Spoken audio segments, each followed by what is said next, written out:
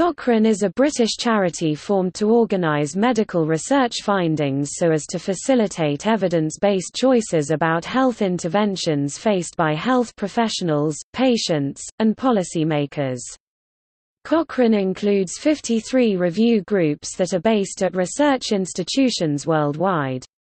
Cochrane has approximately 30,000 volunteer experts from around the world. The group conducts systematic reviews of health care interventions and diagnostic tests and publishes them in the Cochrane Library.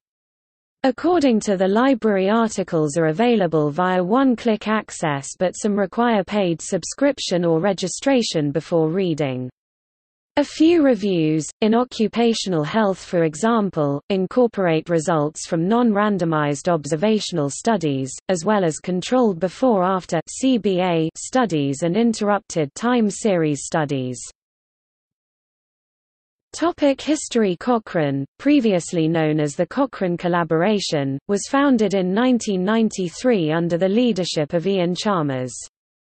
It was developed in response to Archie Cochrane's call for up-to-date, systematic reviews of all relevant randomized controlled trials of health care. In 1998, the Cochrane Economics Methods Group (CEMG) was set up to facilitate the process of decisions being based on health economics, evidence-based medicine and systematic. Cochrane's suggestion that the methods used to prepare and maintain reviews of controlled trials in pregnancy and childbirth should be applied more widely was taken up by the Research and Development Programme, initiated to support the United Kingdom's National Health Service.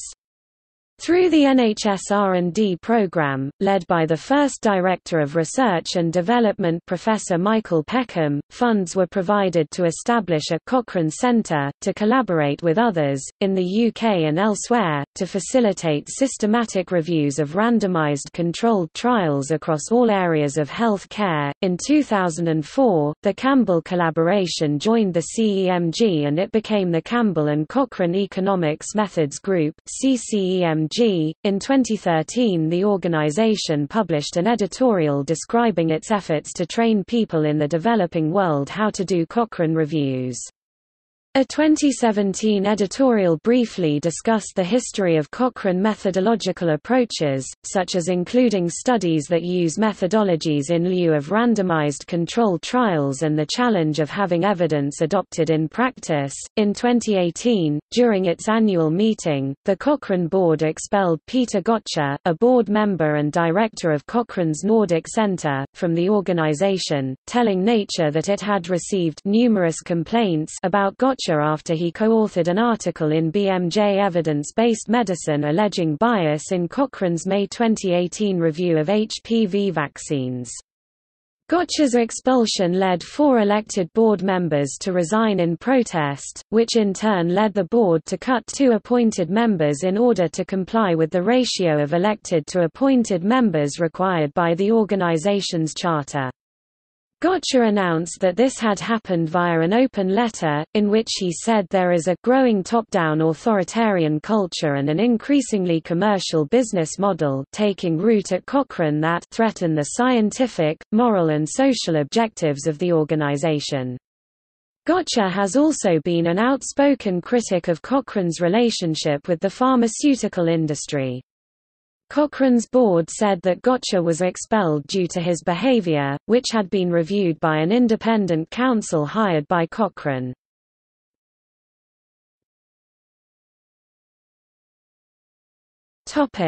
Logo The Cochrane logo represents a meta-analysis of data from seven randomized controlled trials RCTs, comparing one health care treatment with a placebo in a blobogram or forest plot. The diagram shows the results of a systematic review and meta-analysis on inexpensive course of corticosteroid given to women about to give birth too early, the evidence on effectiveness that would have been revealed had the available RCTs been reviewed systematically around 1982. This treatment reduces the odds of the babies of such women dying from the complications of immaturity by 30 to 50 percent. Because no systematic review of these trials was published until 1990, most obstetricians had not realized that the treatment was so effective and therefore many premature babies probably suffered or died unnecessarily.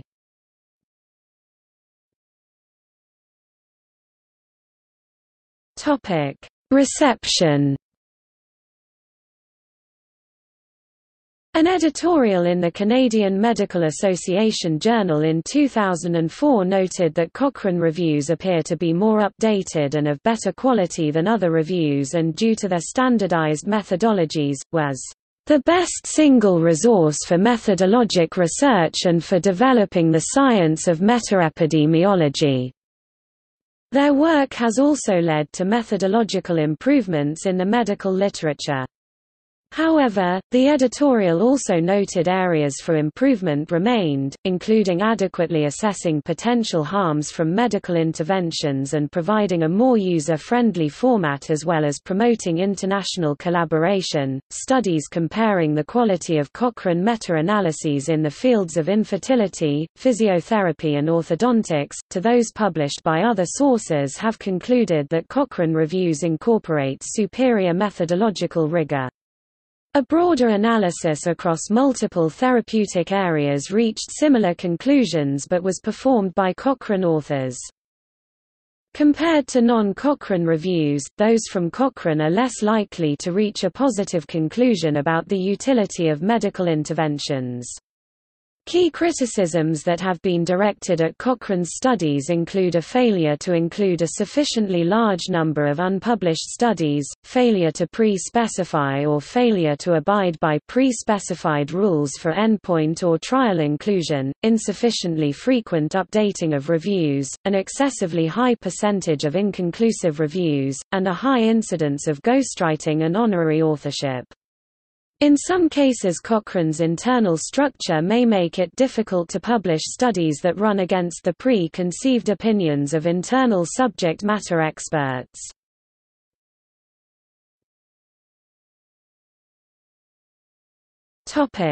Partnerships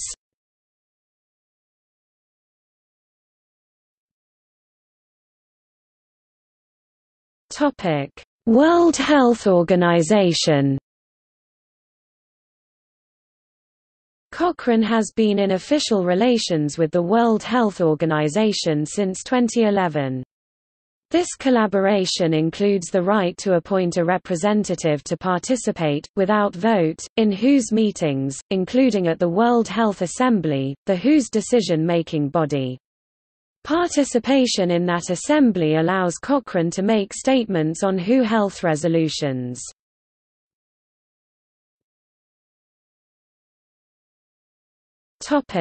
Wikipedia.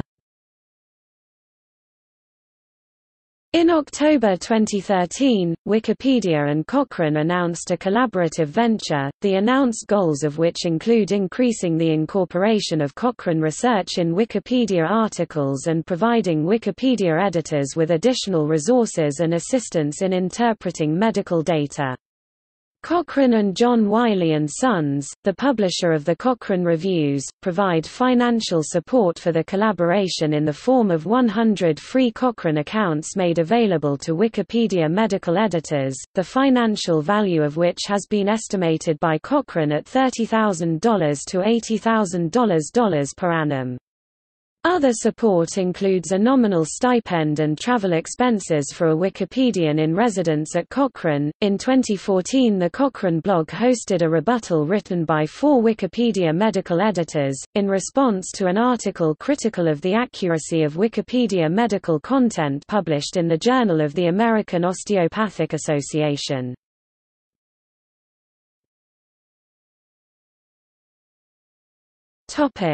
See also